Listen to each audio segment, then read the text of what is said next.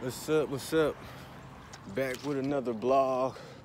Um, today, uh, it seems like uh, today's are the days are getting better.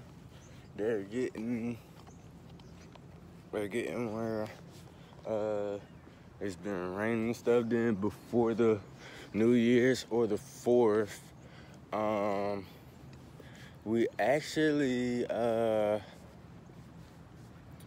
we uh, had like a lot of fireworks and stuff. People shooting a lot of fireworks and stuff.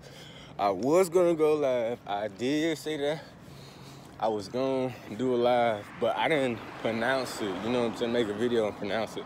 I was just thinking to myself uh, that uh, I'm going live, and um,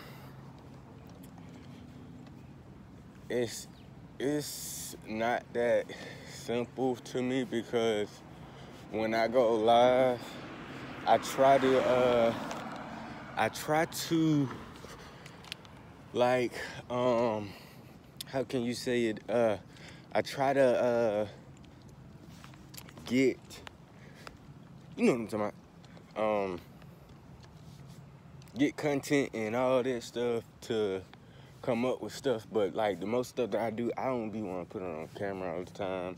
And a lot of people get comfortable and they start putting on camera because of um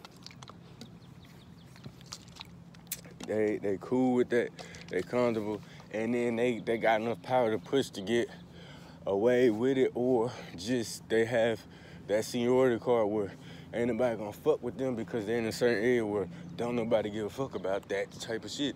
Around here, when you broke, when you broke, you can be petty about every little thing and hate on every little thing and then try to make a person feel like um they make a person feel like they that they doing something wrong.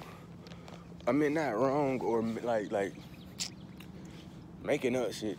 That's all it is. It's like you broke, you ain't got nothing, you grown as hell, or somebody younger.